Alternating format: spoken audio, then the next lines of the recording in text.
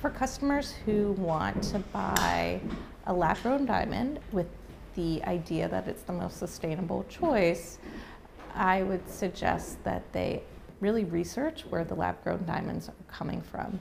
And as you can see, this is very efficient. It's able to do this within a couple of seconds. We get a pass result. So that tells us that it has detected the natural signature of a diamond, and the other sample is a natural diamond. Both of them have the same appearance. In the past, poor quality laboratory grown uh, diamonds you could actually identify by eye. But nowadays, by eye, unfortunately, because they're chemically the same material as the natural stones, they're imperceptible. You can't see.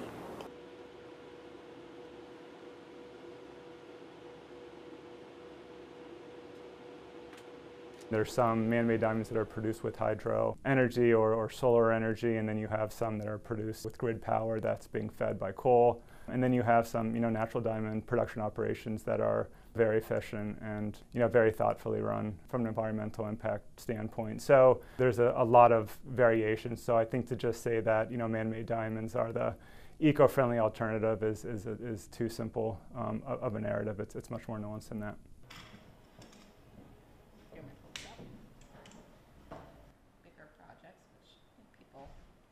When we're using materials that have caused harm to other people and the environment to create a symbol of love and commitment or identity, to me it feels at odds. We take um, the privilege of making jewelry for other people very seriously, and we want to only work with materials that we feel like our clients would be proud to own.